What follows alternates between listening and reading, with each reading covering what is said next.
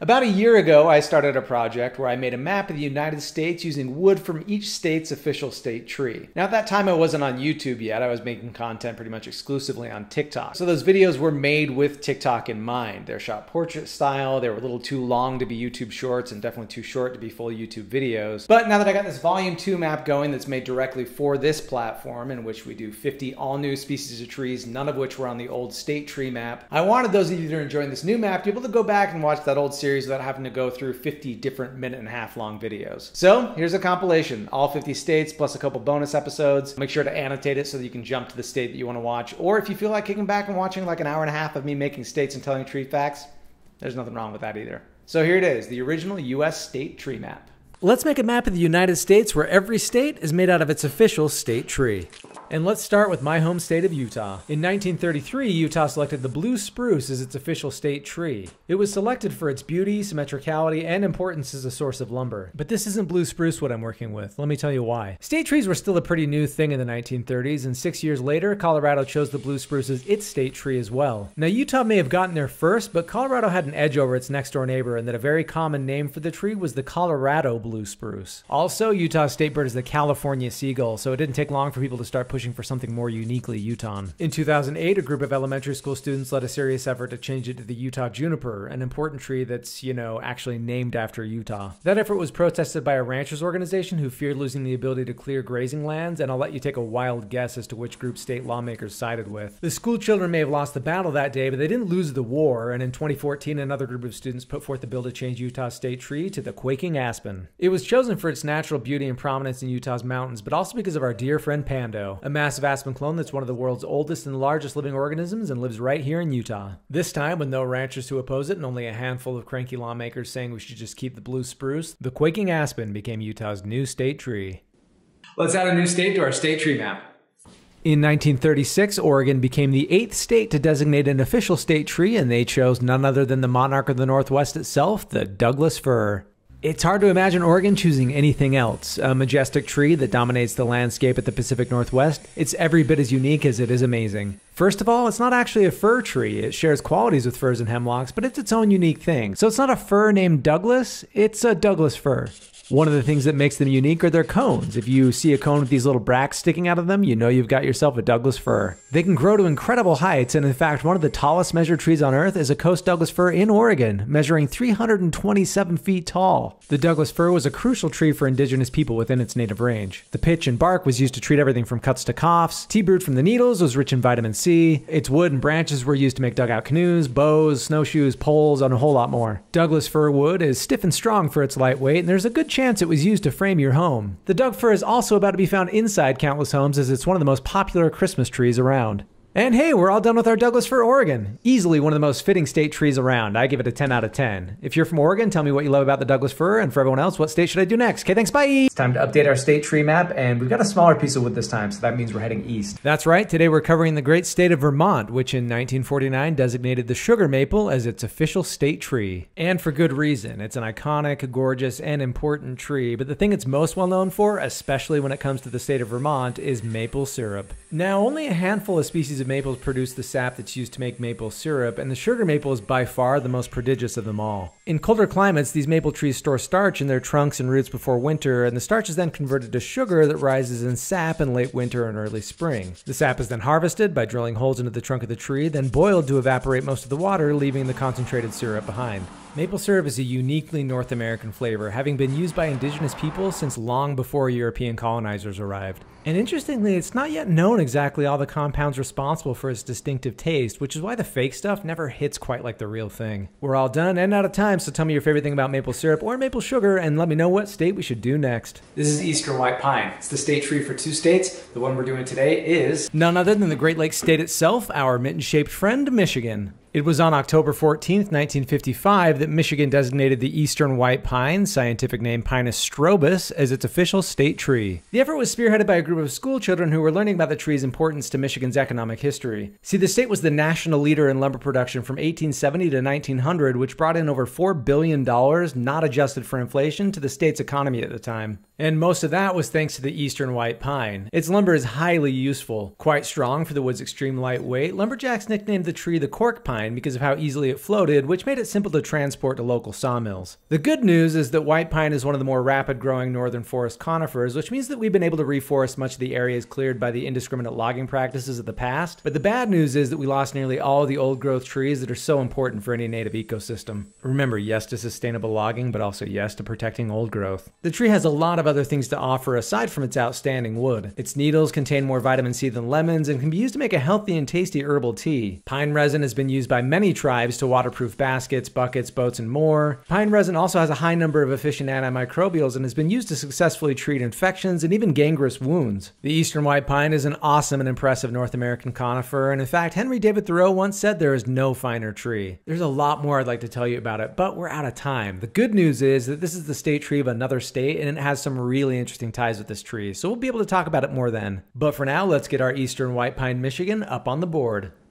That's it for now. So, all my Michigan friends and the rest of you, let me know your favorite thing about the Eastern White Pine and tell me which state we should do next. State tree time, and I've got a piece of cypress wood here, so let's head down to the bayou to talk about an exceptionally cool state tree. It's hard to think of a better choice for the great state of Louisiana than the iconic bald cypress tree. It's a stunning and mysterious tree, and every part of it simply shouts, Yo, you're in the swamp now, my friend. It's a deciduous conifer, meaning that it sheds its needle like leaves over the winter, and you can even get a nice autumnal showcase as those leaves turn red and orange in the fall. Another thing the tree is well known for are its knees. They're prominent growths that form above the roots of the tree, and their function is actually unknown. Some hypotheses include that they might help provide air to the tree's roots, reduce erosion, or help stabilize the tree. Bald cypress trees have long been primarily used for their wood. Many indigenous tribes have used them to make canoes, houses, cooking tools, toys and drums, and a whole lot more. The wood is water resistant and is made an ideal material for anything that's exposed to the elements like fence posts, shingles, planking in boats, and so on. The tree also plays a crucial role in the ecosystem of swamps within its native range. They're really great at soaking up floodwaters and preventing erosion, and they can even help in removing the excess nitrates and phosphates that can cause toxic algae blooms.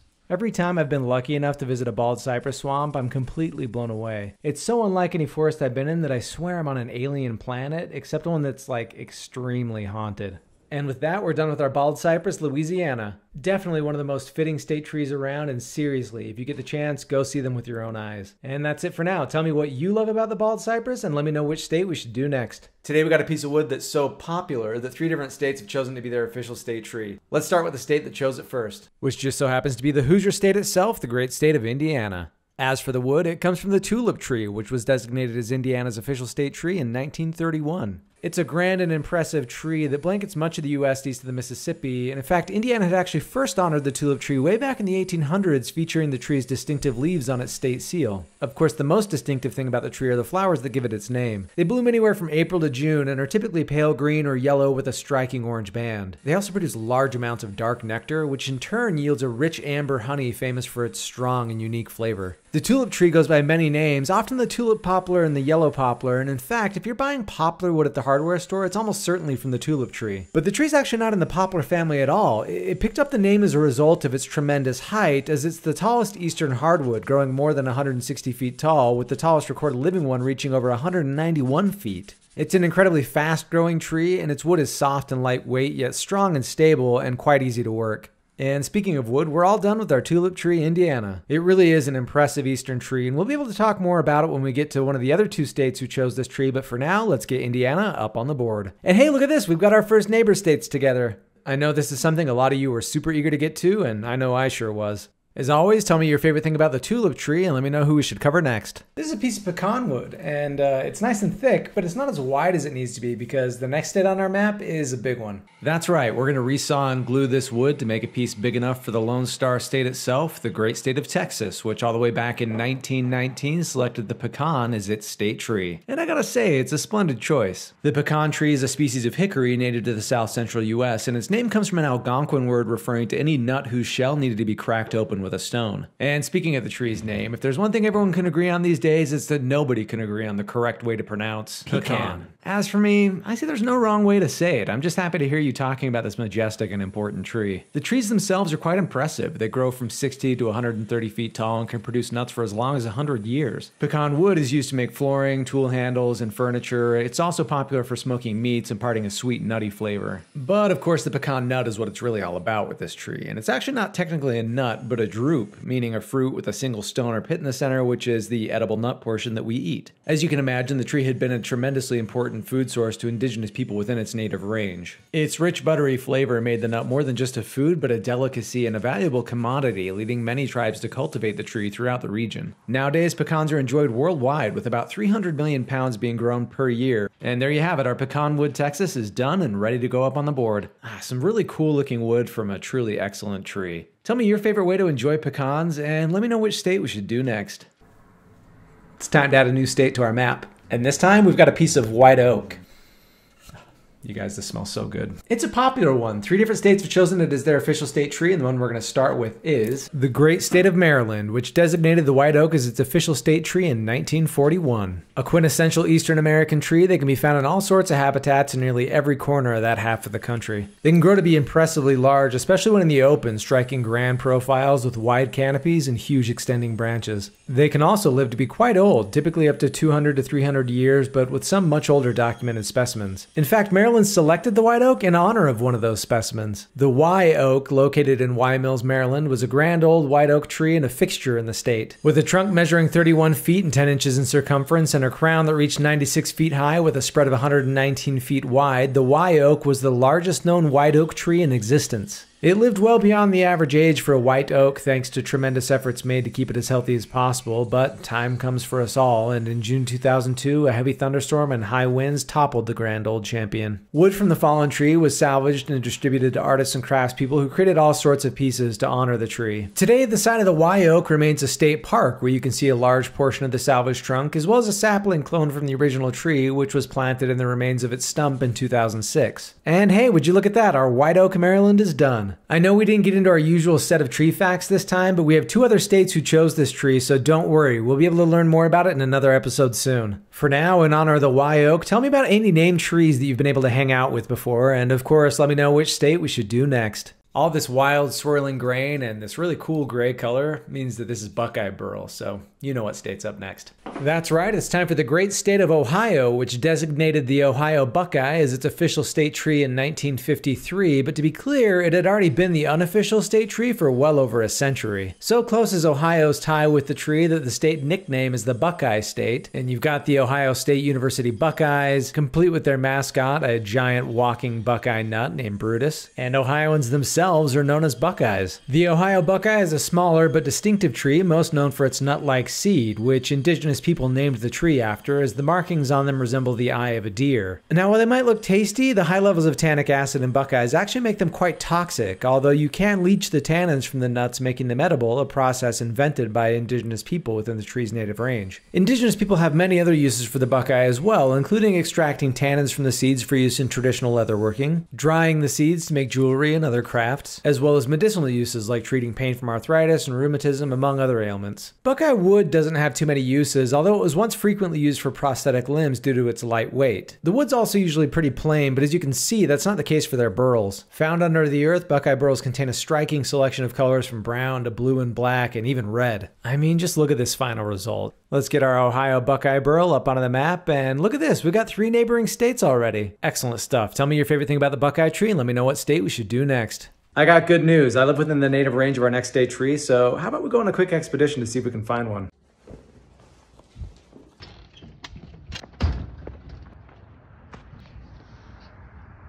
Oh, there's one.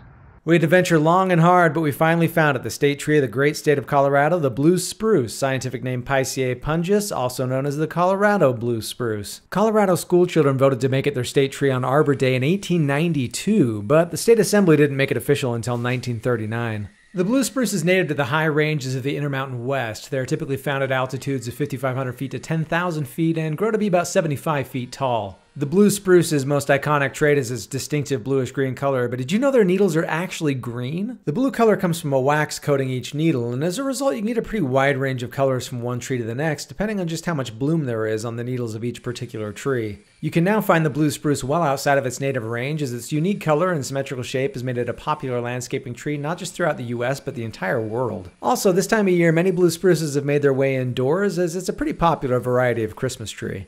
Indigenous tribes within the tree's native range have had many uses for the blue spruce. An infusion of the needles treats colds and stomach problems as well as rheumatic pains. The tree also has ceremonial uses, and blue spruce twigs are given as gifts to bring good fortune. Also, as with all spruce trees, fresh blue spruce tips can be used to make a tasty tea rich in vitamin C. And we're all done. Look, I know this is a really complicated one, and a lot of you doubted that I'd actually be able to make this shape, but I think we pulled it off. That old log had been sitting around my garage for quite a while, so this piece has got some nice character to it with the, the cracks and the spalting in there. And now that it's looking great up on the board, tell me your favorite thing about the blue spruce and let me know what state we should do next. This is a piece of pine wood, and I'll be honest, I don't know what kind of pine tree it's actually from, but the good news is that doesn't really matter. Because today we're tackling the great state of North Carolina, which in 1963 designated the pine as its official state tree. That's right, not any particular species of pine tree, just the pine. See, there are eight species of pine trees native to North Carolina, and in a move that resonates with me probably a little too much, the state assembly opted to honor them all at once so as to not leave any of the other seven out. Here's a quick fun fact though North Carolina is the only state with an official state toast. This kind, not this kind, which does single out one species of pine in its opening line, which goes, Here's to the land of the longleaf pine. Pine trees are also the source of the state's nickname, the Tar Heel State. Thanks to its abundance of pine trees, the region was an important naval source of tar, pitch, and turpentine, all of which come from the pine tree. By the mid 1800s, more than two thirds of all turpentine distilleries were located in North Carolina. As a result, the state was often called the Tar and Turpentine State, leading to locals being given the pejorative nickname Tar Heels, which was quickly reclaimed by North Carolinians as an expression of regional pride.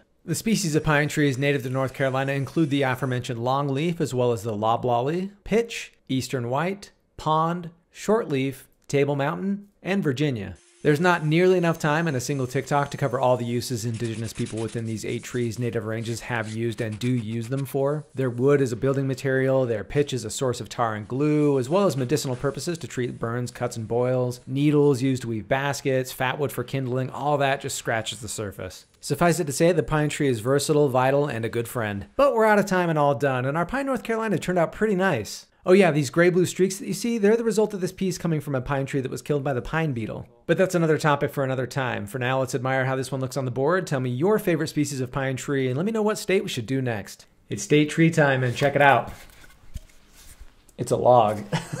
Specifically, it's a piece of pinyon pine, which means the state that we're making today is the land of enchantment itself, the great state of New Mexico, which designated the pinyon pine as its state tree in 1949. Now, real quick, before I get into this excellent conifer, I know that in some parts of the country people pronounce it pignon, and that's great. Around here, we like to celebrate diverse regional pronunciations because it's just more fun that way. And however you pronounce it, the pinyon is a truly admirable southwestern tree. There are actually two primary species of pinyon native to the US the single leaf pinyon, Pinus monophylla, and the one we're focusing on today, the two leaf pinyon, Pinus edulis. It's a small to medium sized conifer native to the Four Corner states, hardy and drought resistant. It's usually found at elevations of 5,200 to 7,900 feet. What it's most well known for are its large edible seeds, which you of course know as pine nuts. The pinyon pine produces the largest edible seeds of any pine tree native to North America, and as such, it was and remains to this day an immensely important tree to the indigenous tribes who live within its native range. It's a truly delicious nut that's traditionally prepared in a variety of ways roasted, ground into flour, eaten raw, made into pine nut butter, and the annual fall harvest of pine nuts is an important social and ceremonial tradition. It's important to note, though, that the vast majority of pine nuts sold in the United States don't come from the pinyon pine. They come instead from other species and are harvested and imported from overseas. The tree's on the smaller side, and so the wood isn't really used as a building material, but it's quite hard for a conifer and does make for an excellent firewood, burning long and hot. It's also extremely aromatic, providing a wonderfully unique sweet smell both in the wood itself and also when being burned.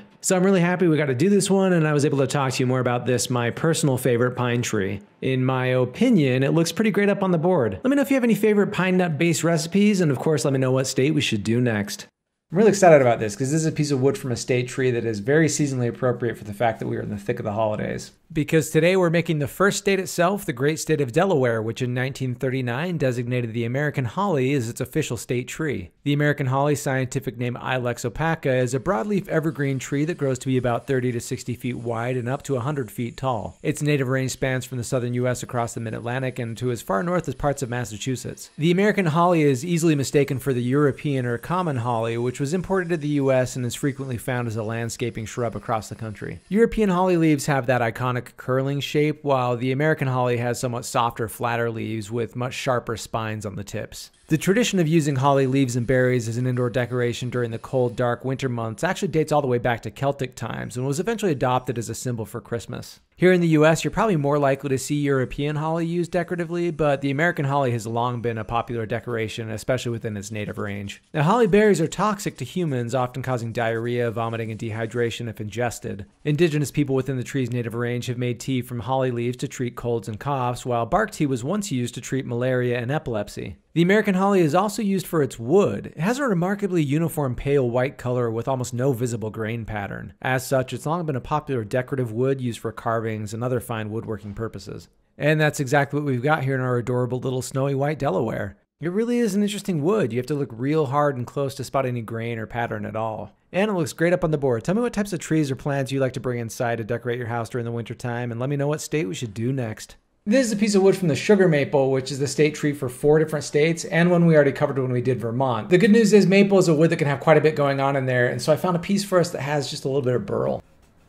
And the state we're going to make out of this piece is the great state of Wisconsin, which designated the sugar maple, scientific name Acer saccharum, as its official state tree. It was first selected as an unofficial state tree by a vote of Wisconsin schoolchildren in 1893, beating out oak, pine, and elm. During the state's centennial celebration in 1948, the tree won yet another vote led by school children, so the state legislature decided to make it official the very next year. Its native range spans from southeastern Canada through the northern U.S. and as far south as Tennessee. It does best in areas with cold winters as it requires a hard freeze for proper dormancy. Also, its seeds will only germinate at temperatures just slightly above freezing in the springtime, a property that isn't shared by any other known species of tree. Like we covered in our Vermont video, the sugar maple is the most prodigious of the few species of maples that produce the sugary sap used to make maple syrup and maple sugar, a practice invented by indigenous people within the tree's native range. Fun fact, it takes about 40 gallons of maple sap to produce a single gallon of maple syrup. Other parts of the sugar maple tree are also edible, including the seeds, which can be soaked, boiled, and roasted. The sugar maple tree is also highly prized for its lumber. Indigenous people in the tree's native range have used it to make paddles and oars, bowls, cooking tools, and furniture, among other things. These days, maplewood is used in all sorts of applications, but one fun thing is that it helps us play some of our favorite games. It's the most common wood used in basketball courts, bowling alleys, and pins, pool cues, and baseball bats. It's also wood that can have a lot of different types of figure, as we're seeing here in our final Wisconsin. Maybe we'll be able to take a look at some of the other types of figured maple in one of the two remaining states who chose this tree, but in the meantime, tell me your favorite game made possible by Maplewood and let me know what state we should do next. Our state tree today is another one we've already covered before, but once again, I found a pretty unique and interesting version of the wood from that tree for us. I mean, look at the look at the colors. It's like purple and stuff. Today we're making the great state of Tennessee, which in 1947 designated the tulip tree, scientific name Liriodendron tulipifera, as its official state tree. The tree was chosen for two reasons. One, because it spans from one end of the state to the other, and two, due to its extensive use in the 19th century in constructing houses, barns, and other farm buildings. As I already covered in the Indiana video, the tulip tree is often called the tulip poplar, and its wood is simply called poplar wood. But the tree actually isn't in the poplar family at all. Something we didn't have time to get into during that video is the rich history of traditional and cultural uses indigenous tribes had for this tree. Parts of the tulip tree, including the bitter inner bark, have been used traditionally as medicine to treat parasites, coughs, rheumatism, fever, and snake bites. Infusions from the bark can be used in poultices to treat boils and other skin problems. The tree's roots add a balancing, almost citrus like flavor to spruce beer, and tulip tree bark can also be used to make a gold dye. The tree's large, straight trunks make it an excellent source for dugout canoes, as well as a really exceptional building material. Speaking of its wood, this piece we're working on here is what's known as rainbow poplar. It's an occurrence which isn't necessarily common, but also isn't particularly rare or scarce. Basically, it's tulip tree wood that's been mineral stained, causing a wide variety of colors to appear, including green, purple, shades of gray, and red and blue and black. There's a lot of speculation about the precise cause of this natural phenomenon, but no one really knows for sure. Either way, our rainbow poplar Tennessee is certainly striking. From regular pale poplar coloring on one end to rich bands of green and purple mineral stained wood, it adds a nice pop of color to our map. Remember to check out the Indiana video if you want to learn more about the tulip tree, but otherwise let me know what state we should do next. New year, new state tree. Uh, I've been trying to say something fun and clever to start this out, but I, I don't know, maybe I'm off my game. How are you? Um, did you guys have a good New Year's Eve? Okay, let's, yep, let's talk about this. Today we're covering the Garden State itself, the great state of New Jersey, which in 1950 designated the northern red oak, scientific name Quercus rubra, as its official state tree. A large, fast-growing tree, the northern red oak typically grows about 2 feet per year until reaching full height at around 90 feet tall and up to over 140 feet. It's a popular tree that does quite well transplanted, and naturalist Joseph S. Illick once called the northern red oak one of the handsomest, cleanest, and stateliest trees in North America. It's the most prominent member of the red oak group, which can be differentiated from white oak trees primarily through several methods, most easily by examining their leaves. Red oaks typically have pointed ends on their leaves, while white oaks are usually rounded. But it's the colors of the tree's wood that give the groups their names. Red oaks have a brighter colored wood with pink and red tones, and white oaks have darker brown and tan wood. Speaking of wood, the northern red oak is the largest source of red oak lumber, which isn't quite as highly valued as white oak, but is still widely used for flooring, veneer, interior trim, fence posts, furniture, and more. Northern red oak acorns had been a traditional staple food for several indigenous tribes within the tree's native range. They're more bitter and higher in tannins than most of their white oak cousins, but those tannins can be leached out of the seeds to make them more palatable. As with all oaks, the tree's bark and inner bark is an antiseptic and astringent and can be used both externally to stop bleeding or treat rashes and burns, or internally to treat severe coughs, hoarseness, dysentery, and more. I'm really happy with how our Red Oak, New Jersey turned out. It's fun to look at, and having it right next to our White Oak, Maryland helps us see some of the differences between the two types of wood. That gives us our first state of the year up on the board. Happy 2022, everyone. Let me know what you'd like to do this year, and of course, what state we should do next. Got a piece of white oak here, which is a state tree we've already covered before, and today we're going to talk about a pretty famous white oak tree. Hi, Sal. Sal's a fan of history. That's right. Today we're covering the great state of Connecticut, which in 1947 designated the white oak, scientific name Quercus alba, as its official state tree. But for centuries prior to that, Connecticut already had one very specific white oak designated as its unofficial state tree. That's right. Today we're going to talk about the charter oak. Believed to have been growing since as far back as the 12th or 13th century, the charter oak was an unusually large white oak in what is now Hartford, Connecticut. The tree was a fixture in early colonial Connecticut, but its legend grew significantly after the Connecticut Charter incident. In 1662, Connecticut had been granted a royal charter by King Charles II, permitting the colony to make some of its own rules and elect local officials. In the 1680s, after Charles died, his brother King James II disapproved of the charter and sent a royal governor to retrieve it. The colonists refused to give it up, and as legend has it, one night as the colony leaders debated the governor, the candles in their room blew out, and in the cover of darkness, the charter disappeared and was hidden in the trunk of the nearby large white oak tree, where it remained secret and safe. It then became known as the charter oak, a pre revolutionary symbol of Connecticut's resistance to royal rule. The old tree stood all the way till August 21, 1856, when, at a tremendously old age, it fell during a violent storm. All of Hartford mourned that day. Church bells tolled across the city, and at sundown, the local armory band played a dirge at the site of the fallen tree. There were immediate calls to salvage as much wood from the charter oak as possible, and countless artifacts were crafted from the tree, including the state governor's desk, a chair in the state capitol used by the Senate president, a frame that houses the original 1662 charter, and a whole lot more. And while our nice little white oak, Connecticut may not have come from the charter oak, it still looks pretty nice up on the board. Tell me what your favorite historical tree is, and let me know what state we should do next.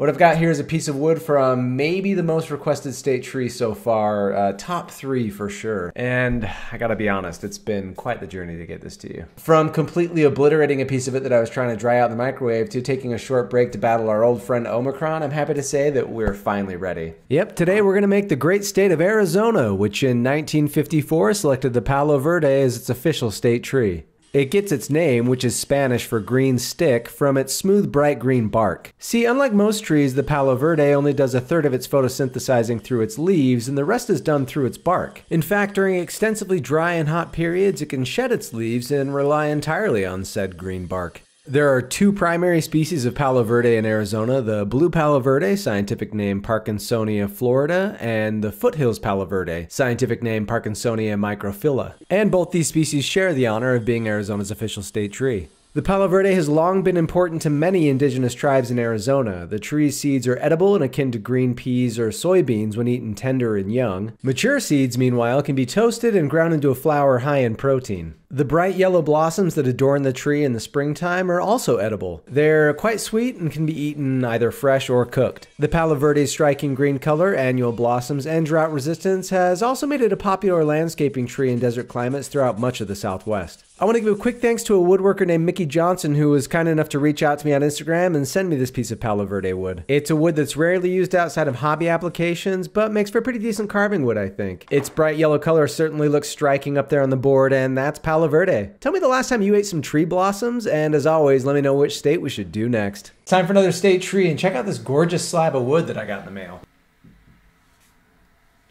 Wow.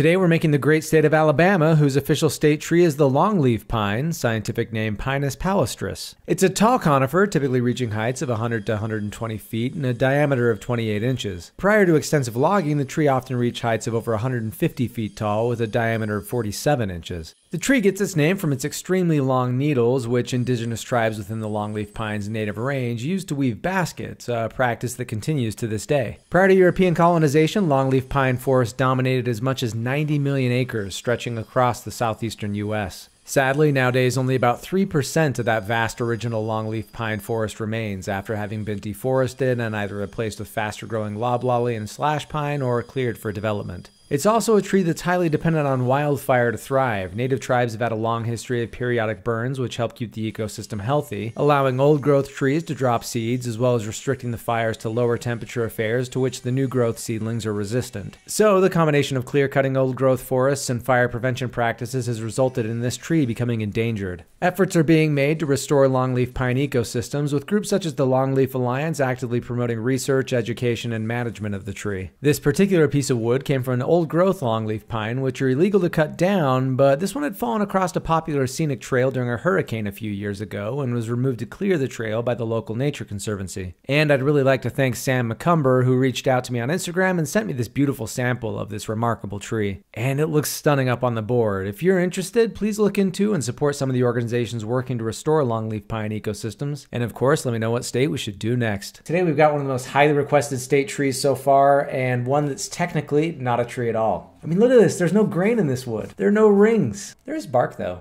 First things first, we're going to stabilize the wood this time. And that's because we're making the great state of South Carolina, which in 1939 designated the sabal palmetto, also known as the cabbage palm, sabal palm, or simply the palmetto, as its official state tree. And really, there was no other choice. The sabal palmetto is South Carolina's single most prominent symbol. The state nickname for one is the Palmetto State, and the tree is featured on the state flag, the state seal, and the state quarter. Much of the state's affinity for the palmetto as a symbol began with the Revolutionary War Battle of Sullivan's Island, which saw South Carolina soldiers hunker behind a fort crafted out of sand and palmetto trunks. This unique combination was able to absorb the impact of British naval cannon fire, allowing the South Carolinian forces to hold the fort and win a pivotal revolutionary victory. Like I mentioned at the top of this video, the palmetto, like all palm trees, are technically monocots, putting them more closely related to grasses or bamboo than most trees, which are dicots. But as a tall plant with a thick woody trunk and green leaves, it's more than enough of a tree for a non-scientist like me. It gets its cabbage palm nickname from its edible terminal buds called heart of palm, a common food source for indigenous people within the tree's range. Other uses include making brushes and brooms from young leaf stalk fibers and baskets and hats from the leaf blades. Palmetto trunks are often used for wharf pilings, docks, and poles, but the wood is rarely used for much else. You see, palmwood consists of a scattered bundle of tube like cells that are held together by a soft and spongy lignin, which can make it difficult to work with. But our reward is a really unique and stunning South Carolina. Let's admire it up there on the board and uh, tell me your favorite thing about palm trees and let me know what state we should do next. This is going to be a fun one. Today's state has not one but two state trees, so let's get into it. Also, look at this. Today, we're making the great state of California, which in 1937 designated the California redwood as its official state tree, and in 1953 amended it to recognize both the coast redwood, scientific name Sequoia sempervirens, and the giant sequoia, scientific name Sequoiadendron giganteum. They're two of the largest and tallest species of trees on the entire planet. The coast redwood, typically the taller of the two species, lives in a narrow band along the coast and can reach heights up to 380 feet. The giant sequoia is found only in a limited area of the western Sierra Nevada mountains and grows up to 310 feet tall, but is the more massive of the two species, with a typical base of 40 feet in diameter compared to the coast redwood's 22 foot diameter. And the widest giant sequoia, General Sherman, has a trunk of over 100 feet in diameter. Honestly, it's overwhelming to try to cover two species as remarkable as these in under a couple minutes, so don't expect this to be the last time we talk about either of them. What I do want to make sure we cover in this is the fact that both species are endangered. As a result of the excessive logging practices of the 18 and 1900s, only 5% remains of the estimated 2 million acres of original coast redwood forests. Now, 82% of the remaining old growth coast redwoods and 90% of the remaining giant sequoias are protected in national parks and forests, and nowadays the vast majority of redwood lumber comes from farms and second or third growth trees, but there's still a lot of work left to do. If you want to learn more and would like to help, check out organizations like the Save the Redwood League, which are doing work to protect and restore these trees and their ecosystems. I want to thank one of my awesome followers for sending me this stunning piece of coast redwood that was salvaged from a tree that fell during a severe storm some years ago on a farm in Humboldt County. I really feel honored to have been able to use a piece of it for this project. And it looks gorgeous up on the board, fit to honor two truly remarkable species of tree. Let me know in the comments if you've had a chance to see an old growth redwood in person, and of course, let me know what state we should do next.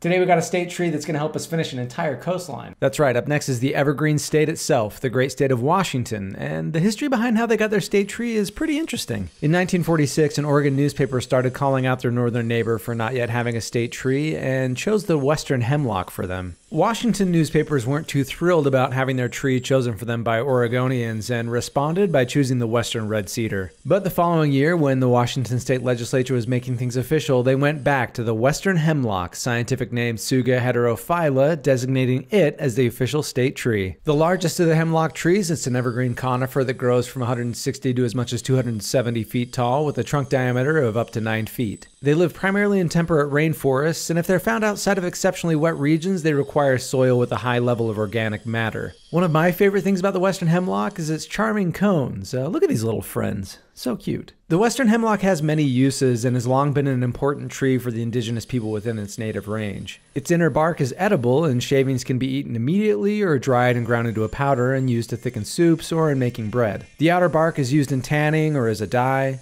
And western hemlock boughs are used to collect herring eggs, a practice originating from traditional gathering methods used by native Alaskans, which not only makes the eggs easy to gather, but also provides a distinctive taste.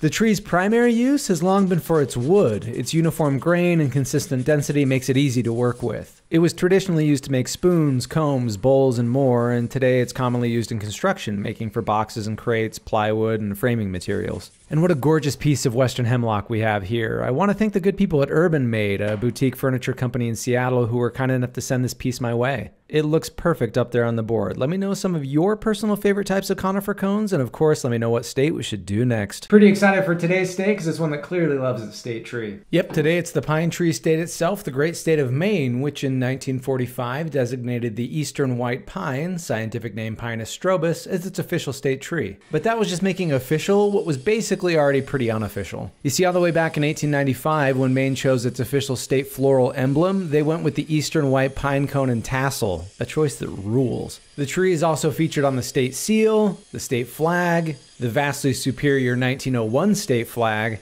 and the state's license plate. The eastern white pine is the tallest tree in eastern North America, typically growing to about 160 to 180 feet tall. And in pre colonial old growth forests, it's reported to have reached heights of over 230 feet. We talked a lot about how the tree was logged in my Michigan video, but one of the things we didn't cover was how the tall and straight white pine became known as a mast pine and was marked by agents of the British Crown to reserve trees for the British Royal Navy, a practice that became controversial in the colonies and led to an act of rebellion later known as the Pine Tree Riot, a significant lead up to the Revolutionary War. Named the Tree of Peace by the Haudenosaunee, the eastern white pine has long been an important tree to the indigenous people within its range, both symbolically and practically. The tree's characteristic bundles of five needles became the symbol of the treaty that led to the formation of the League of Five Nations, and the tree remains an important symbol of peace to this day. Check out the Michigan video for some of the tree's many traditional uses because we're out of time and our eastern white pine Maine is all done. It's looking nice and stately up there on the board. If you're from Maine, go ahead and brag about how cool it is to have a pine cone as your state flower because I can't get over how great that is. And for the rest of you, let me know which state we should do next. This beautiful piece of wood is for a state that had kind of a tough time getting specific about its state tree. Up next is the Hawkeye State itself, the great state of Iowa, which took a few years to select a state tree. In 1959, the State House of Representatives passed a bill to make the bur oak the state tree, but it failed to make it out of committee in the Senate. So in 1961, they tried again, this time putting forth a bill designating just the oak as Iowa's state tree, hoping it'd stir up less debate. The tactic worked, and the bill passed, making the oak Iowa's official state tree. Despite this, many Iowans today still hold to the spirit of the original bill, and the bur oak, scientific name Quercus macrocarpa, is widely considered the unofficial state tree. So that's the wood I'm using here, and that's the tree we're going to talk about. It's a large and dramatic tree growing about 90 feet tall and exceptionally up to 160 feet. It's one of the most massive oaks with a trunk diameter of up to 10 feet and is a member of the white oak section of the oak genus. Its most notable feature are its acorns, which are the largest in North America. And I really can't get enough of these characters. I mean, they look like little cartoons wearing hand knit hats. They're a vitally important food source for all sorts of wildlife, including black bears who are known to tear off branches to get at them. So the trees use an evolutionary strategy known as masting, in which once every few years they produce a ton of seeds that overwhelms the ability of wildlife to eat them all, thus ensuring some will survive. The bur oak shares many of its traditional and modern uses with other white oaks, including their acorns as a food source for humans. The astringent bark can be used to treat wounds, sores, and rashes. The high tannin content makes it useful for tanning. The wood shares many properties with the white oak and is used to make flooring, furniture, barrels, tools, and more. Speaking of the wood, I want to thank woodworker Lori McGinley for sending me this excellent piece of bur oak. Such a pretty piece, all that figure in there. The chef's head is looking perfect up on the board. Tell me your favorite species of acorn and let me know what state we should do next. I'm excited about this one. Sal, you you excited too? Today we're headed to Big Sky Country because we're going to make the great state of Montana, which in 1949 designated the ponderosa pine, scientific name Pinus ponderosa, as its official state tree. It's a tall and picturesque pine tree that's synonymous with the high elevations of the American West, with a native range that touches every state from the Pacific coast to the upper Midwest and everything in between. On average, it grows to around 165 feet tall with a trunk diameter of 42 inches, but can reach well over 200 feet tall. One of the tree's most interesting features is its bark. For the first 100 to 150 years of the tree's life, their bark is almost completely black, and as they reach full maturity, it develops its characteristic thick orange scale like appearance with deep black furrows. And if the charming appearance of this tree's bark wasn't enough on its own, it can also smell strongly of vanilla or butterscotch. It has many uses and has been an important tree for many indigenous tribes throughout its expansive range. Its sweet inner bark is edible, as are the pine seeds. The tree's pitch can be used as a type of chewing gum, as a salve to treat sores and back or hand pain, as a torch fuel or glue, and it's also traditionally used inside flutes to improve the instrument's tone. Oh, and also ponderosa roots can be used to make a blue dye. I'd like to thank Colin from Rock Ridge Rustic Wood Design for sending me this piece of ponderosa pine. It came from a tree that was killed by pine beetles as you can see by the holes left behind by beetle larvae and the characteristic blue streaks caused by the fungal infection that follows a beetle infestation. The silver lining is that it gave us a really great looking Montana, full of character and really helping us fill in that big blank section on the board. Tell me the tree you think smells the best and let me know what state we should do next. Next up on the state tree map, now that we're halfway through, is America's smallest state. I think we're going to be able to fit it. It's going to be fine.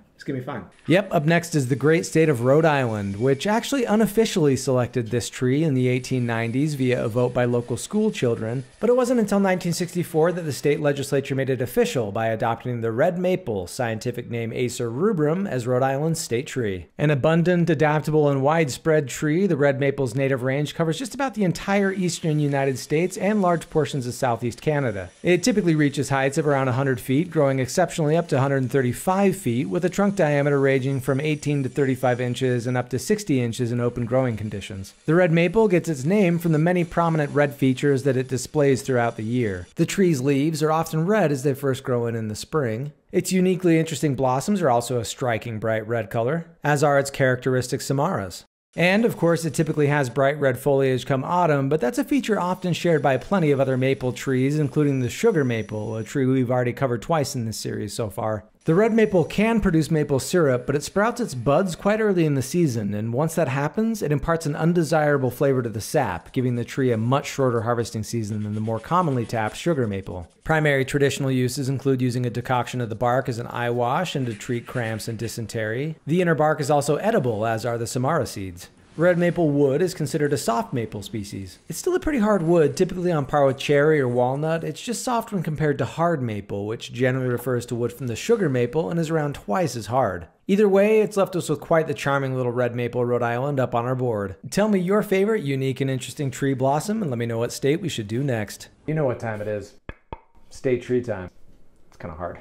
Today we're making the great state of Illinois, which in 1908 adopted the native oak as its state tree, not specifying a particular species. But in 1973, the state decided to get specific and put it up to a vote among nearly a million school children who selected the white oak, scientific name Quercus alba, making it Illinois' official state tree. Slow growing and striking a grand profile, it typically reaches heights of about 100 feet when full grown, with a lifespan often surpassing well over 300 years. With a native range range spanning almost the entire eastern United States, the white oak has long been one of the most revered trees on the continent. Indigenous people have many traditional uses for the tree. The acorns are edible and are typically far more palatable than those from the red oak. The natural astringents in the bark make it helpful for treating wounds and stemming bleeding. It's also used in traditional tanning practices and has many other uses, but where it really shines is its wood. In fact, the great Illinois native himself, Nick Offerman, has called the American white oak the most noble of woods, and it's hard to argue with him. It's strong and hard, yet flexible and beautiful. It has a closed cellular structure that makes it water and rot resistant. It's used to make all sorts of stuff fine furniture, ships, tools, barrels in which you age wine and allow the wood to impart strong flavors. And bourbon isn't considered bourbon unless it's aged in charred white oak barrels. This piece we have here is what's called quarter sawn white oak, and that's why we see those really cool streaks, which are called ray flecks. And it looks exceptionally classy up on the board. I especially love how it completes our nice little negative space Lake Michigan. Tell me what you think is the most noble of woods and let me know what state we should do next.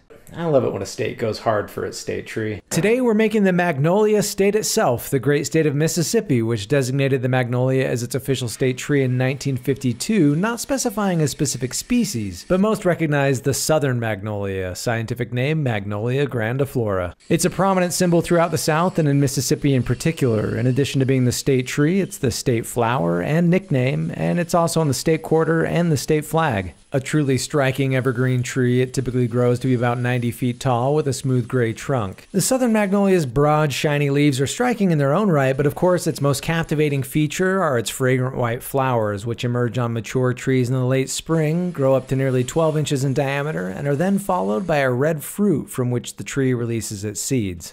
Indigenous tribes within the magnolia's range have many traditional uses for the tree, with a couple interesting ones coming from the bark, which serve as a steroid and as an anti anxiety treatment. In fact, a pair of active ingredients have been isolated from the plant, honokiol and magnolol, the former of which, according to Yale, has been shown to be up to five times stronger than Valium in its anti anxiety effects. Southern magnolia wood is used to make all sorts of stuff, like furniture, boxes, is a general utility wood, and some of the showier wood is often used to make veneer. But the southern magnolia's primary use today is as an ornamental tree. Although endemic to the Gulf and South Atlantic coastal plain, the tree is so well liked that it's been cultivated in warm climates around the globe. I'm really digging how this piece turned out. We've got these interesting purple and green streaks at the top, and the growth rings also have a nice lavender colored tint to them. I want to make sure to thank a guy by the name of Sean Murray who was kind enough to reach out and send this piece of wood to me. Tell me your favorite flowering tree and let me know what state we should do next. Got an interesting state tree for you guys today because this one was so controversial that it sparked an international maple syrup tasting contest. Today we're making the great state of New York, which in 1889 conducted a poll among school children in which the sugar maple was selected state tree, but it was never made official. So in 1956, New York Governor Averell Harriman asked the state assembly to pass a bill to make it official. Now when Vermont's governor, Joseph Johnson, heard about this, he sent a pretty fiery telegram to Governor Harriman saying, the sugar maple has been Vermont's state tree since 1949, and you can't fool the public into believing that the Empire State can compete with Vermont's maple products. But we'll share our tree with you if you're willing to prove in competition that New York's maple products taste even one half as good as ours. New York's governor accepted the challenge, inviting Vermont to a taste test at the New York State Maple Sugar Festival, making sure to include a snarky reminder that they had chosen their tree in 1889. Word spread quickly, and by the time the fair rolled around, a panel of food editors lined up to judge maple products from New York, Vermont, Pennsylvania, Massachusetts, Ohio, Maine, Michigan, Minnesota, and Quebec, whose largest maple syrup producer had publicly scoffed at the competition, saying most American maple syrup was simply watered down Canadian imports anyway. The judges sampled maple infused recipes, including maple barbecued ribs, maple corn muffins, scalloped sweet potatoes and pineapples in syrup, French dressing with maple syrup, maple charlotte russe, and maple fluff. In the end, the judges called the competition a tie, giving the top spot to Vermont and Michigan, with New York coming in at a very close third. Governor Harriman graciously conceded defeat and awarded a silver cup to both winners. Days later, on April 10, 1956, after having proved that New York's maple products were at least half as good as Vermont's, he went on to sign the tree bill, which had been passed by the legislature, making the sugar maple New York's official state tree. And with that, we're done with our sugar maple New York. This piece is what's called bird's eye maple, a distinctive pattern sometimes found in maple wood, the cause of which is unknown. And while New York may not have won that taste test, it sure does look great up on our board. Tell me some of your favorite maple recipes and let me know what state we should do next. Fun fact this wood right here, it's gonna be the hardest on our entire map. It's pretty hard. It's time to make the great state of Georgia, which in 1937 designated the southern live oak, scientific name Quercus virginiana, as its official state tree. An iconic tree in every sense of the word, the southern live oak is practically synonymous with the deep south. They can range in size from a shrub all the way up to massive spreading trees with majestic canopies and sweeping lower limbs that graze the ground before rising back up again. Live oaks retain their leaves nearly year round, but aren't true evergreens as they often drop their leaves immediately before new ones emerge in the spring. The branches of the southern live oak frequently support other plant species like ball moss, resurrection fern, and Spanish moss, all of which add to the charm and mystique of this stunning tree. It's obviously an aesthetic wonder, but it has many practical uses as well. Traditional indigenous uses include extracting an oil from the acorns to be used in cooking. They can also be roasted or processed into flour. Live oak seedlings have tuber-like roots that can be fried and eaten. And like with all oak trees, the bark can be a source for tannins and can be used in traditional tanning, as a dye, and as an astringent to treat wounds and sores. Live oak wood is exceptionally hard, heavy, and strong. It was widely used to build framework timbers of ships, and the frame of the USS Constitution was constructed from southern live oak wood harvested from St. Simon's Island in Georgia. And it was the strength and density of that wood that helped the ship withstand cannon fire, giving it its nickname Old Ironsides. I'd like to thank Bill, a fellow woodworker here on TikTok, for sending me this piece of southern live oak. It was a pleasure to work with and looks great on the board. Tell me your favorite thing about the southern live oak and let me know what state we should do next. Hmm. Resinous. Today we're making the great state of Idaho, which in 1935 designated the western white pine, scientific name Pinus monticola, as its official state tree. Sometimes called the Idaho pine, the western white pine is a large tree that regularly grows from up to 100 to 160 feet tall and exceptionally up to over 200 feet. As a member of the white pine group, its leaves or needles grow in bundles of five, and its cones are long and slender and noticeably larger than its close relative, the eastern white pine, which is the state tree of both Maine and Michigan. Its many traditional uses among the indigenous people within its range include chewing its pitch as a gum and to treat coughs. You can also process the pitch to make glue for fastening arrowheads and coating fishing and whaling instruments. The bark can be boiled and used to treat stomach aches and applied to cuts and sores. And as with other pine trees, its needles are rich in vitamin C and can be brewed to make a tasty tea. The western white pine is also highly prized for its lumber. Its wood is soft, finely textured, and easily worked. It's used in all sorts of construction purposes from making doors and furniture to exterior and interior siding and molding. Unfortunately, the western white pine is struggling as a species. Its population was drastically impacted by the indiscriminate logging practices of the 19th and 20th centuries. To make matters worse, they've also been hit hard by white pine blister rust, a fungus introduced from Europe in 1909, which has killed about 90% of western white pines west of the Cascades. But some individual western white pines have proven to be genetically resistant to blister rust, and the Forest Service has had success in breeding those trees and has begun to use them to reforest hard hit areas. I want to thank Ryan Edwards for sending me this great piece of western white pine from Idaho. It's a really nice fit up there for a really nice tree. Let me know if you're team western white pine or team eastern white pine, and of course, tell me what state we should do next. We got another really hard piece of wood today. In fact, this is basically tied for the hardest on the entire map. It's also a tree that I know a lot of you are really excited for. Today is the Great Commonwealth of Virginia, which in 1956 designated the flowering dogwood, scientific name Cornus florida, as its official tree. Legislators selected it after having already designated the dogwood flower is Virginia's floral symbol in 1918, citing the tree's status as one of Thomas Jefferson's favorites. A small and extremely showy tree, it typically grows up to about 33 feet high with a trunk diameter of up to 12 inches and has a vast native range spanning much of the eastern United States. The tree is most notable for its attention grabbing flowers, which consist of four large modified leaves called bracts, which surround a cluster of about 20 tiny flowers. They appear in March to April in the south and June in the north. The flowering dogwood fruit consists of a cluster of shiny, inedible crimson drupes, which ripen in late summer to early fall just before the tree's leaves turn a deep red brown. Traditional indigenous uses include using the bark and roots to treat malaria. The tree's roots can be used to make red inks and dyes. Dogwood bark was also once used to treat dogs with mange, which is one of a few prevailing theories on how the tree got its name. The tree's wood is really dense and hard and is used to make things like mallets and tool handles, golf club heads, jewelry boxes, and other specialty items. But the flowering dogwood's primary use is as an ornamental, in large part, of course, thanks to its flowers, but let's not discount the charm of its bark. Look at those little square scales. I, I just think it's neat. I'd like to thank Gillian, a follower who sent this beautiful piece of flowering dogwood my way. I'm, I'm really digging this piece. Such unique color and character in there and looks excellent up on the board. Let me hear your favorite flowering tree and tell me what state we should do next. Can you believe we're two thirds of the way through the map now? Crazy. Today, we're making the Great Commonwealth of Pennsylvania, which in 1931 designated the eastern hemlock, scientific name Tsuga canadensis, as its official state tree. That designation came a few decades after the father of Pennsylvania forestry, Dr. Joseph T. Rothrock, said If Pennsylvania were to select one tree as characteristic of our state, nothing would be better than the hemlock. A stately evergreen tree, the eastern hemlock is slightly smaller than its close relative, the western hemlock, but it's by no means diminutive. They typically grow to heights of about 100 feet with a trunk diameter of 5 feet. They're also long lived, with the oldest recorded specimen found right in Pennsylvania being at least 554 years old. Traditional indigenous uses of the tree include making a tea rich in vitamin C that helped combat colds, coughs, and scurvy. Steam from said tea could also be used to treat rheumatism and arthritis. The inner bark is also edible and can be eaten raw or boiled or used to make flour. Now, if you're saying, wait, I thought hemlocks were poisonous, that's because hemlock trees got their name from their needles smelling kind of like the poisonous hemlock herb, but the plants aren't aren't at all related.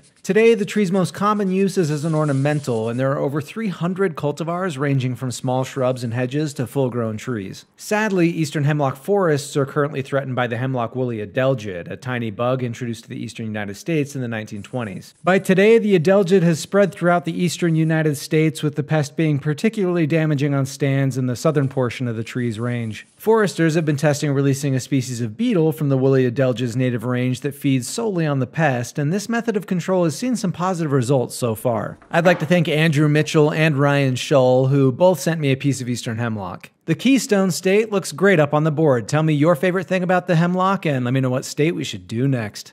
Today's state tree is kind of a controversial one. Up next, the great Commonwealth of Kentucky, where there's a bit of a tangled history when it comes to their state tree. In 1956, the Kentucky General Assembly selected the tulip tree, also known as the tulip poplar, yellow poplar, or by its scientific name, Liriodendron tulipifera. But in 1973, someone discovered that the legislation had never been properly recorded in Kentucky's statutes, meaning that the Commonwealth was officially without an official tree. A popular columnist for the Louisville Courier Journal took this opportunity to launch a campaign to replace the tulip tree with the Kentucky coffee tree, scientific name Gymnocladus dioicus. The movement quickly gained steam, with proponents citing the tree's unique seed pods that can be roasted and ground as a coffee substitute and its attractive wood, which is frequently called Kentucky mahogany. The debate between coffee tree and tulip tree continued for three years until March 8, 1976, when the legislature passed a bill officially designating the Kentucky coffee tree as the new official state tree.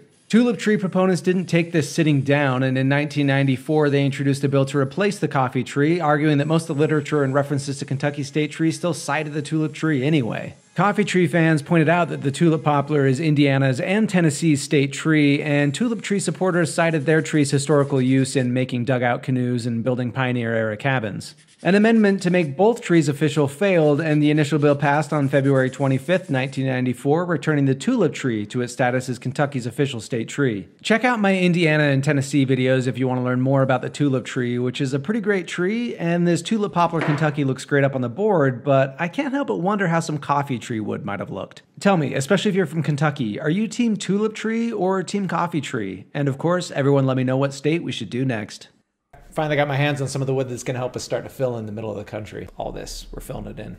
Up next is the great state of Kansas, which in 1937 designated the cottonwood as its official state tree. Now, the legislation didn't specify a specific species of cottonwood, but it's the eastern cottonwood, scientific name Populus deltoides, and its subspecies the plains cottonwood, Populus deltoides monilifera, that call the sunflower state home. The Kansas state legislature called the tree the pioneer of the prairie, stating that the successful growth of a cottonwood grove was what determined whether a homesteader would stick it out on their claim. It's a large, fast growing tree native to huge swaths of the U.S. east of the Rocky Mountains. Usually found near bodies of water, they typically grow to be about 60 to 200 feet tall with a massive, deeply furrowed trunk, often reaching 9 feet in diameter. Its flowers, which appear in the form of long catkins, come on in early spring, with the males a reddish purple color and the females green. Seed capsules appear in early summer, which split open to release numerous tiny seeds attached to cotton like strands, which give the tree its name. And contrary to popular belief, it's the aforementioned catkins and their pollen that trigger seasonal allergies, not these cottony seeds. The eastern cottonwood has a host of traditional indigenous uses. Its fragrant buds can be used to make an antiseptic salve that's great for your skin. The bark contains salicin and thus has some pain-killing properties, and the bark and leaves are both used to treat wounds. And the buds can also be used to make red, yellow, and purple dye. Cottonwood wood is brittle and soft and generally regarded as low value. It's primarily used to make boxes and crates, plywood, and paper.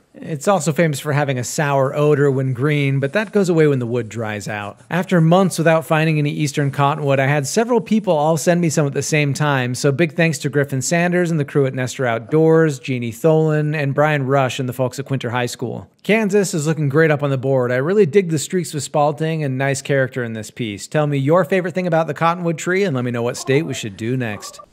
It's another small state day. Today we're making the great Commonwealth of Massachusetts, which in 1941 designated the American elm, scientific name Ulmus americana, as its official state tree. A large, magnificent American tree, its native range covers basically the entire country east of the Rockies as well as southeastern Canada. According to the legislation, the elm was selected to commemorate the fact that George Washington took command of the Continental Army beneath an American elm tree on Cambridge Common in 1775. That tree was later named the Washington elm elm and stood as a proud symbol in Cambridge for well over a century. By the early 1900s, it had become quite fragile and diseased in its advanced age, and in 1923, the entire tree fell during a routine pruning. A cross section was sent to George Washington's home in Mount Vernon, and the main trunk was divided into large pieces, each of which was sent to the governors of the 48 states at the time. Smaller items were also crafted from the branches of the tree, with gavels being especially popular. Root shoots from the Washington elm were also sent to locations throughout the country, and many of them and their descendants still thrive today. The Cambridge Historical Commission has stated that the story of Washington taking command under the elm is almost certainly a myth, but the tree remains a symbol all the same. Beyond its status as an icon of Massachusetts history, the American elm is a remarkable tree. Prized for its attractive shape and shade providing canopies, it once dominated urban and suburban landscapes throughout the country. Unfortunately, far too few of these trees remain, as Dutch elm disease has ravaged the American elm population over the past century. We're about out of time, but the elm is the state tree for another state, so we'll be able to dive more into this amazing tree real soon. As for now, I'd like to send a special thanks to Lara Contulis for sending me some American elmwood. It made for a pretty great Massachusetts that's looking right at home up on the board. Tell me if you've ever seen a piece of the Washington elm or met one of its descendants, and let me know what state we should do next.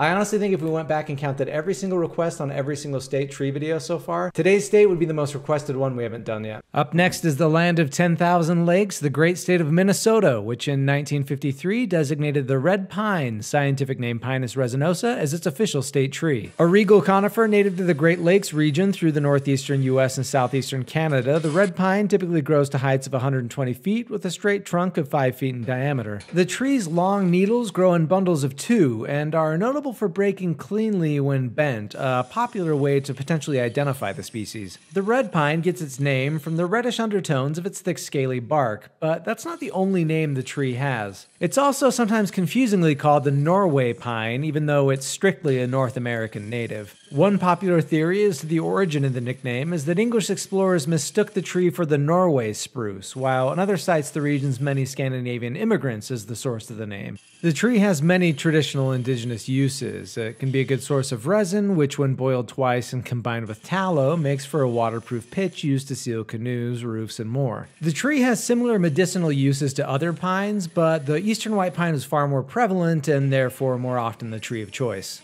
A pretty interesting thing about the red pine is that it has very little genetic diversity or variation and doesn't hybridize well, if at all. According to researchers, this suggests the species has been through a near extinction in its recent evolutionary history. The red pine is definitely an outstanding tree, and wow, what a real stunning piece of wood we have to honor it. I'd like to thank Laurie McGinley, a fellow woodworker here on TikTok, for sending this piece my way. It looks exceptional up on the board. Our chef finally has their hat. Tell me your favorite thing about the red pine and let me know what state we should do next. Today's state didn't feel like being very specific with their state tree. Up next is the great state of Arkansas, which in 1939 designated the pine as its official state tree. No species was singled out in the bill, but there are two types of pine that are far and away the most commonly found in Arkansas.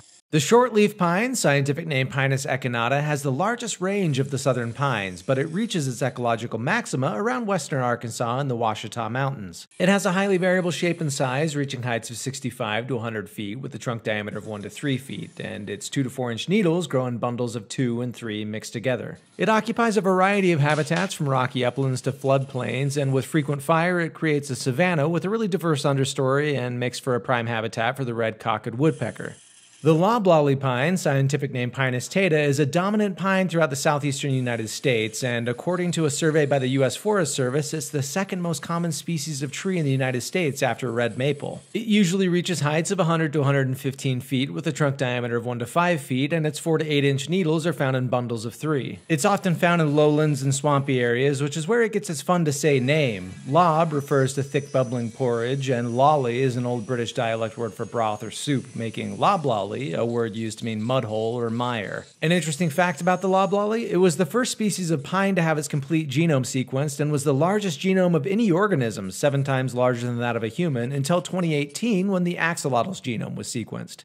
Traditional indigenous uses for these species is similar to many other species of pine. Their needles are rich in vitamin C. Turpentine obtained from their resin is antiseptic and can be used to treat internal and external maladies. Both species are also extremely valuable sources of lumber. Their wood has an excellent strength to weight ratio and is used in all sorts of construction. I'd like to thank Xander Dumaine and Arian Blackman for sending me some loblolly pine to get our Arkansas up on the board. Now our chef is finally wearing pants. Tell me your favorite tree name to say out loud and let me know what state we should do next. Pretty exciting day because not only is this one of the most highly anticipated states left on the map, but also this wood does something really cool that I promise you're going to want to stick around to see. Today we're making the great state of Oklahoma, which in 1937 designated the eastern redbud, scientific name Cercis canadensis, as its official state tree, but the choice wasn't without some controversy. Just as the governor was about to sign the bill making the tree official, he received a telegram from the president of the National Women's Club protesting the choice, claiming that the eastern redbud was the same as the European redbud, which is often called the Judas tree, due to the myth stating that Judas Iscariot hanged himself from that tree, turning its white flowers red. The debate was settled after a prominent Israeli born Oklahoman named John Iskin was able to convince the public that the two trees, while related, are indeed separate species. Which is fortunate for all of us because this is a really great state tree. It's a large shrub or small tree native to much of the eastern United States and parts of northern Mexico, typically growing to 20 to 30 feet tall with a short twisted trunk and wide spreading branches. It's most famed for its showy magenta flowers that appear in clusters from spring to early summer that are pollinated by long tongued bees such as blueberry bees and carpenter bees, as shorter tongued bees can't reach the nectaries. The redbud has many traditional indigenous uses. The bark, when boiled, makes for treatment for whooping cough. The roots and inner bark treat fevers and congestion. The flowers are edible. They have a mild, sweet flavor and can be sprinkled into a salad, used as a garnish, baked into cookies and cakes, made into jelly, or just eaten as is. The tree's seed pods are also edible, making the redbud a really great snacking tree. Eastern redbud wood is primarily used by hobbyists to make boxes, carvings, and small specialty items, but that really cool thing about it that I promised you? It's one of a few species that fluoresces under blacklight. I want to thank Aaron Wheeler, Benjamin Welch, Neil Golden, and William Shepard all for sending me some redbud wood. And a big thanks for all my Patreon supporters for voting for Oklahoma to be the next state up on our board. It really does look great up there. Tell me your favorite edible trees and let me know what state you hope to see next. I think we might have a tough time making today's state, but I think we might be able to pull it off. I don't know. Up next, it's the great state of Wyoming, which in 1947 designated the cottonwood as its official state tree. The original bill cited the common name cottonwood, but also cited the scientific name Populus balsamifera, which is actually the balsam poplar and not the cottonwood, so it was unclear as to which tree was actually Wyoming's state tree. So in 1961, a pair of state senators introduced a corrective legislation keeping the common name listed as the cottonwood, but updating the scientific name to Populus sargentii, making the plains cottonwood the definitive state tree. The plains cottonwood's more commonly used scientific name is Populus deltoides monilifera, as it's considered a subspecies of the eastern cottonwood, which we recently covered in our Kansas video. And there's not much that separates these two species. The plains variety has slightly smaller and more coarsely toothed leaves, and the tree thrives in more adverse conditions than its eastern counterpart, but its primary features are more or less identical. However, this variety is particularly iconic as a symbol of life and refuge on the prairie, growing large and tall in open fields, and as the Wyoming legislature put it, has given its bountiful comfort and beauty to the residents of the state and its shelter and shade to the livestock of the state since time immemorial. Its traditional and modern uses are identical to that of the eastern cottonwood, so go check out the Kansas video if you'd like to learn more about those, but we're already done with our Cottonwood Wyoming. I really like the way this piece turned out. There's some light spalting and some really subtle figure in there. A big thanks to my Patreon supporters who selected this state in an extremely close vote. Wyoming's looking right at home up on the board. Let me know if you're more of a Plains Cottonwood or an Eastern Cottonwood fan and tell me which state you want to see next. Today is Arbor Day, so it's only fitting that we make the state where the holiday began. That's right, we're making the great state of Nebraska, which in 1937 designated the American elm as its official state tree. However, in 1972, in light of Dutch elm disease having killed much of the American elm population in the state, the legislature changed the state tree to the Eastern Cottonwood, scientific name Populus deltoides. Now, it's also the state tree of Kansas, and its subspecies the Plains Cottonwood is Wyoming's state tree, so check out both of those episodes if you'd like to learn more about cottonwoods, because today is the 105th anniversary of Arbor Day, a holiday all about planting trees, and it got its start right in Nebraska. The first American Arbor Day was originated by J. Sterling Morton, who, as the Secretary of Nebraska, decided to use his office to spread his personal passion for trees by proposing a tree planting holiday during a meeting of the State Board of Agriculture. The celebration took place on April 10, 1872, with individuals and organizations competing for prizes for planting the most trees, and at the end of the day, Nebraskans had planted over 1 million of them across the state. Word spread, and each year, new states would pass legislation to observe the holiday, and today, Arbor Day is celebrated in all 50 states, with the holiday now typically falling on the last Friday in April. Although some state Arbor Days are at other times to coincide with the best tree planting weather in that region.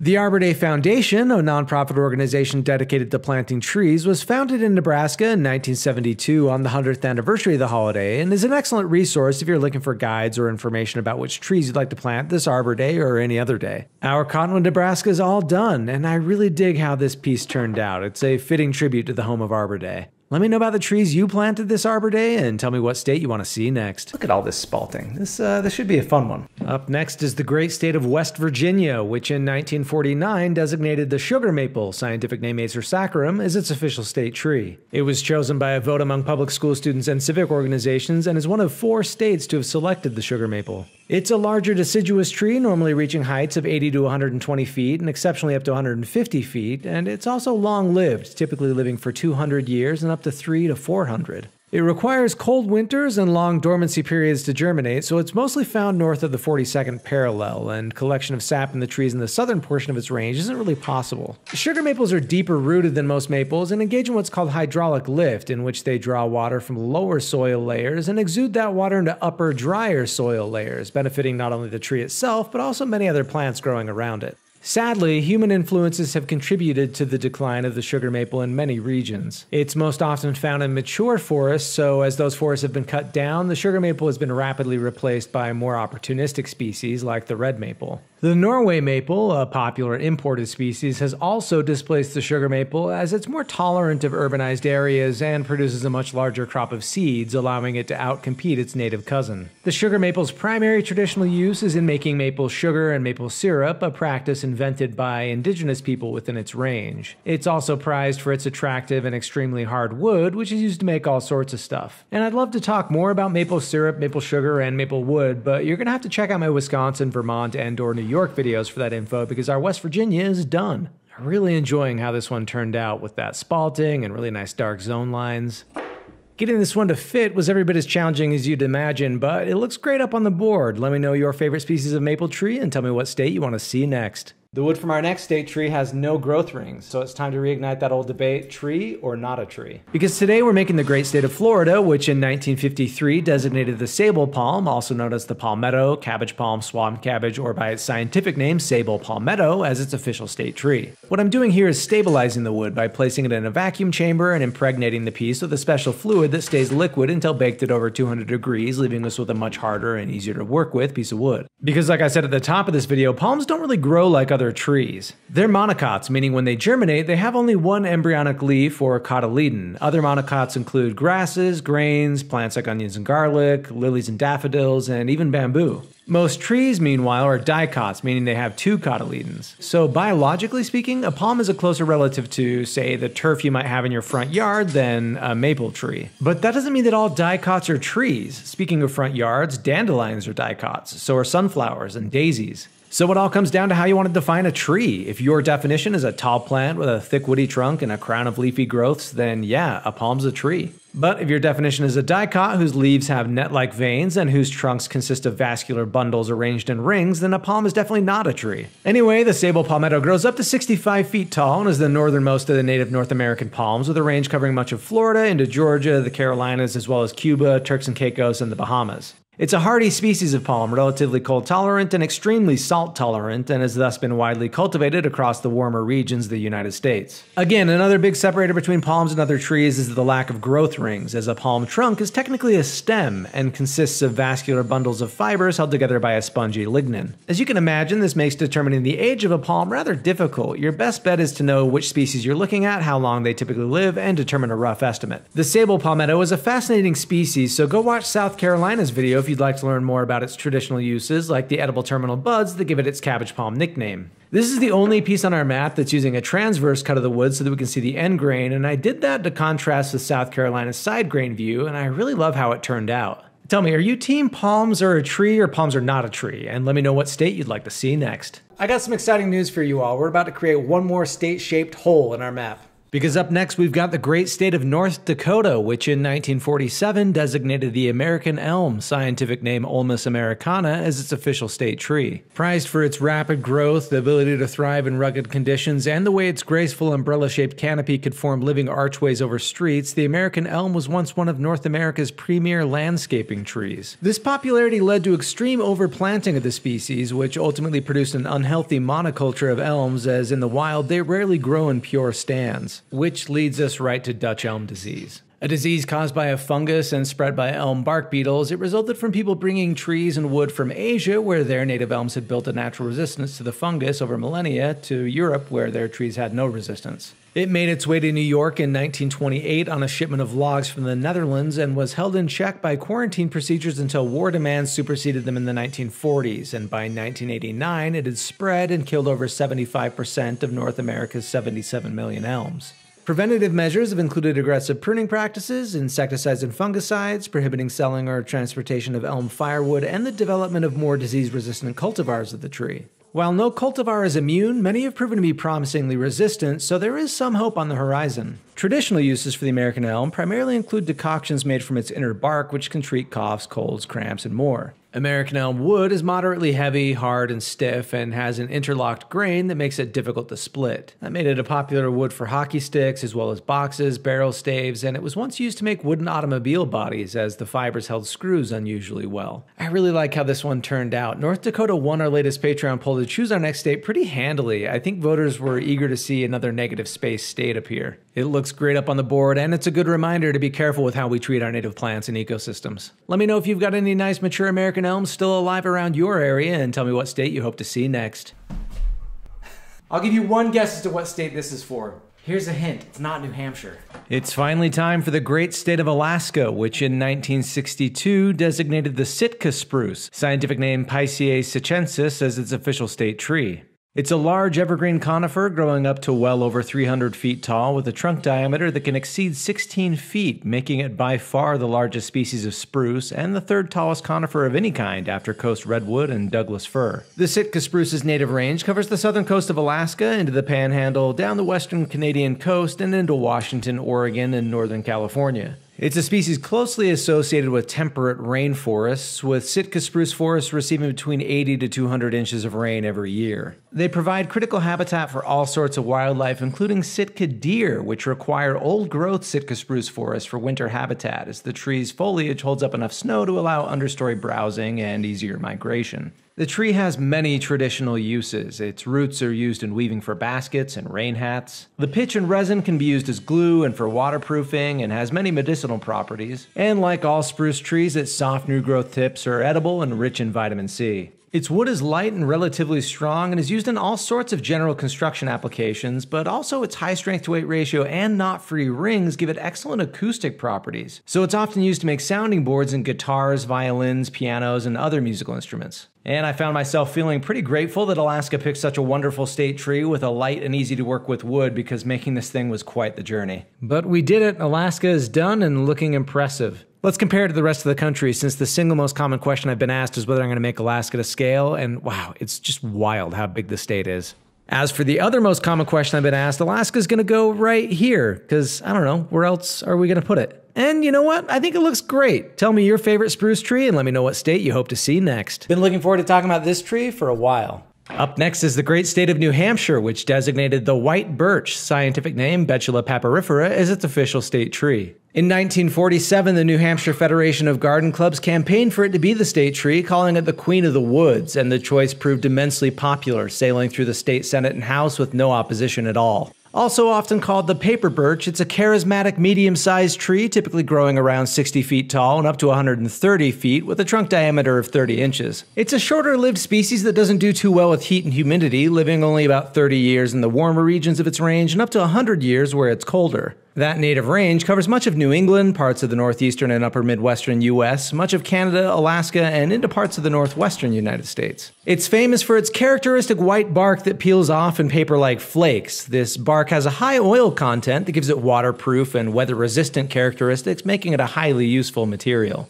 It's an excellent fire starter, lighting even when wet. It can be fitted or sewn together to make cartons and boxes, canoes, and shelters. It's also used in a traditional indigenous art form known as birch bark biting, in which artists fold up pieces of birch bark and bite on it to form intricate designs. White birch trees can also be tapped much like maple trees to produce birch syrup, which has a caramel or molasses like flavor with a spicier, more acidic aftertaste, making it a popular option for glazing meats or other savory applications. Oil from birch bark is also used to make birch beer, a popular soft drink, although that typically comes from the sweet birch or black birch instead of the white birch. Wood from the paper birch tree is widely used as veneer and plywood, used to make doors, furniture, paneling, and a whole lot more. And it made for a nice little New Hampshire for us. New England is finally complete, as is the entire map east of the mighty Mississippi. That's wild. I can't believe how far we've come. Tell me your thoughts on our beautiful friend, the paper birch, and let me know what state you hope to see next. It's finally time.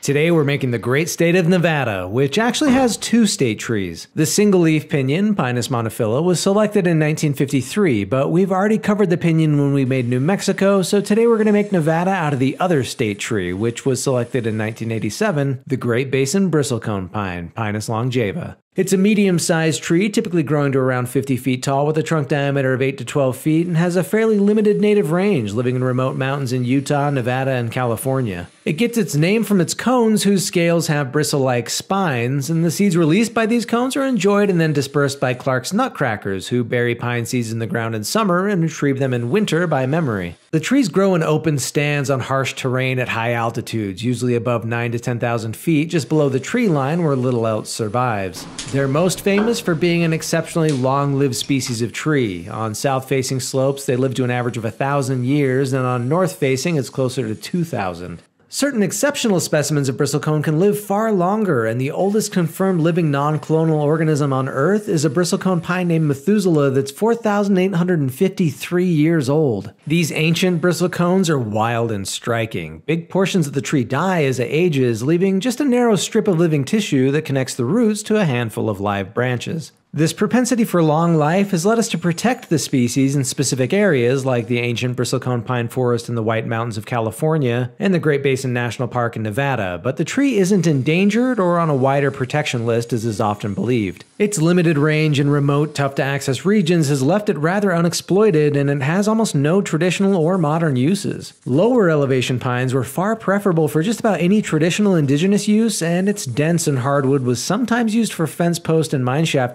in its remote regions, but instead, the primary use for bristlecone pine over generations has been as a natural wonder. To see those gnarled and twisted plants that have stood living in their spot since before recorded history really gives us a chance to step back and marvel at our place in nature. I want to send a big thanks to Sarah Buckley, who made some truly entertaining content here on TikTok chronicling her journey to ethically source this piece of bristlecone deadfall, so definitely go check those videos out. And there it is. A lot of you were a little impatient about this, but like I kept saying, it'd be worth the wait, and Nevada's empty space is now filled in with a truly gorgeous piece. Tell me if you've had a chance to meet an ancient bristlecone, and let me know what state you hope to see next. We're down to our last three. This is crazy. It's crazy. But look at this. Look how, how cool this wood is.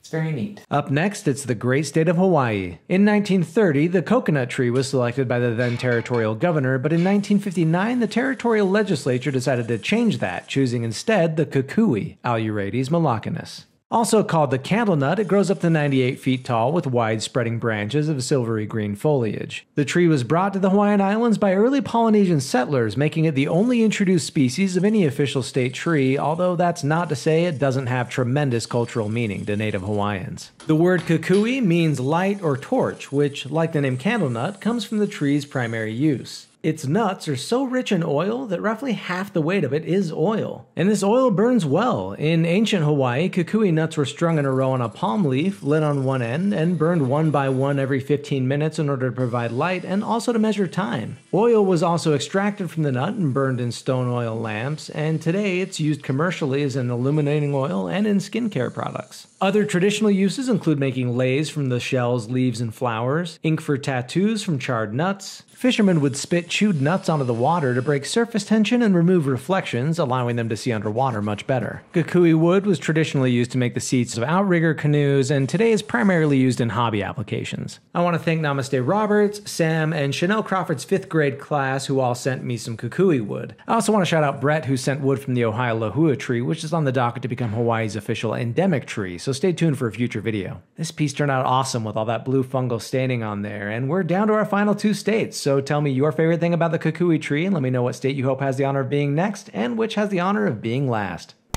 It's time for our second to last state. Up next, it's the great state of South Dakota, which in 1947 was having trouble agreeing on a state tree. After the legislature voted down the cottonwood and juniper, they formed a joint committee on horticulture which nominated the Black Hills spruce, Picea glauca variety densata, a choice that passed the legislature, making it South Dakota's official state tree. It's a variety of white spruce, a large evergreen conifer with a wide native range spanning from Alaska throughout nearly all of Canada and into parts of the northern United States, including a pocket in the Black Hills, which is where this variety lives. Aside from being slower growing and slightly smaller, 20 to 40 feet tall, as opposed to 50 to 100 feet, the Black Hills spruce is virtually identical to other white spruces. It has thin, scaly bark which flakes off in small circular plates, a narrow crown which starts out conical and becomes cylindrical as it gets older, and its scientific name comes from the glaucous color of its needles, glaucous being that excellent greenish grayish blue color often found in nature. Its soft new growth tips are edible and rich in vitamin C and can be made into a tasty tea. They're also used to make beer, gin, and in flavoring for sodas and candy. White spruce wood is soft but strong, used traditionally to make shelters and as firewood, particularly in extreme regions of its range where few other softwood species survive. The wood is also harvested for paper and is often used in modern construction. The Black Hill spruce variety makes for a popular landscaping tree, Christmas tree, and it's also frequently used for bonsai.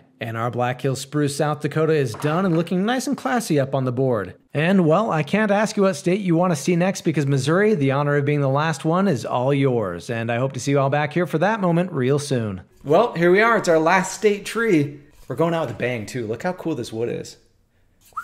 We finally arrived at the great state of Missouri, which in 1955 designated the flowering dogwood, Cornus florida, as its official state tree. According to the bill, it was chosen to encourage its cultivation on account of the beauty of its flower and foliage. A small tree that grows up to about 33 feet high with a trunk diameter of up to 12 inches, it's so popular that it's also Virginia's state tree and the state flower of both Virginia and North Carolina. The most attention grabbing part of the tree's flowers are actually four large modified leaves called bracts, surrounding a cluster of about 20 tiny yellow flowers. After erupting into a bright floral show in the spring, the tree grows small clusters of inedible crimson drupes which ripen in late summer and early fall. Traditional indigenous uses include using the bark and roots to treat malaria, making red inks and dyes. The bark was also once used to treat dogs with mange, a popular theory as to where the tree got its name. As a small tree, it's not harvested commercially for its lumber, which is extremely dense and hard, but it is utilized within its range to make things like mallets, golf club heads, and in hobby applications. Again, it's primarily used today as an ornamental, with dozens of uniquely colored cultivars developed and grown throughout temperate climates worldwide. I'd like to thank Charlie Burnett and Lindsay Steele for sending me some flowering dogwood. I mean, look at this piece, so much spalting and character. Uh, just a great way to finish our map by slotting this gorgeous dogwood Missouri into place. And that's it 50 state trees. What an amazing journey it's been. I, I have a lot of thoughts and feelings I want to share with you all, but I'm going to save that for its own video. So for now, tell me which piece on this board is your favorite and let me know what region you'd like to see next. We got all 50 states up there and I'm just about ready to move on to a new region to start our next tree map. But first, how about we do a little bonus episode? Because we're going to zoom into our map and make the Great District of Columbia, which in 1960 designated the scarlet oak, Quercus coccinea, as its official tree. A fast growing tree native to the central eastern United States, it's a member of the red oak family and is easily mistaken for its close relative, the pin oak, although, unlike the pin oak, which prefers floodplains and swamps, the scarlet oak grows best in dry, sandy, or rocky areas. You can also identify a scarlet oak by its leaves, which have more C shaped closed sinuses between its lobes than a pin oak's more open and U shaped ones. The scarlet oak's acorns are also half covered by a deep cap, while the pin oaks are much shorter. Traditional indigenous uses for the scarlet oak are similar to that of other red oaks. Its acorns are edible, although more bitter than white oaks. The galls produced when insects disturb the tree are particularly high in tannins and can be used to make a dye as well as treat wounds and other maladies. It gets its name from its striking red fall foliage, which makes it a popular landscaping tree, and it can be found in several famous locations throughout the district, including the grounds of the White House, the Supreme Court, and the Capitol. Its wood is virtually identical to other red oak species and is considered an excellent value species as a domestic hardwood and is widely used in cabinet and furniture making. And our beautiful Scarlet Oak DC is all done. This was a really fun bonus episode, but it's time for us to move on to another part of the world, so let me know what region you'd like to see next. I almost never started making this map of the US out of each state's official state tree. It's something I'd wanted to do for years, but I kept convincing myself I needed to wait until I had better and more expensive equipment. Then I joined this platform and somehow grew an audience, and I thought that state tree map idea would sure make for some great content, but I was nervous that doing it by hand would leave all sorts of people yelling at me about my sloppy looking map. Fortunately, I set those thoughts aside and decided to just go for it, and the reception this series has gotten is more than I ever could have imagined. Millions of you joined and watched, commented, shared the videos with your family and friends, shared your stories with me. You bought stickers and posters. You've sent me pieces of wood and words of encouragement and support. With each piece that I added to the board, I got to watch so many of you share in this curiosity about the native trees that make the places we call home so unique and special. And yeah, now that this project's done, it's easy to feel a lot of things at once excited, sad, satisfied, a little empty, a little fulfilled. But for me, what I feel the most is grateful. Sharing this with you all over these months has been an absolute joy, and I can't thank you enough for making it happen. But here's the thing this is just the beginning. There's so much more to make and learn, so many more trees to get to know. You've all changed my life, and I can't wait to show you what's next.